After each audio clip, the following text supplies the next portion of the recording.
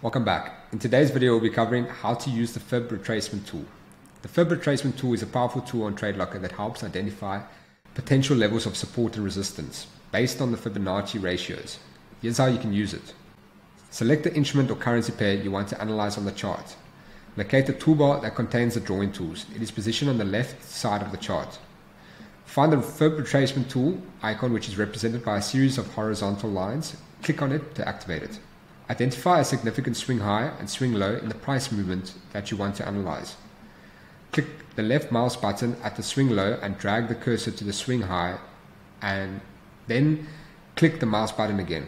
The Fib retracement levels will automatically plotted on the chart representing potential support and resistance levels.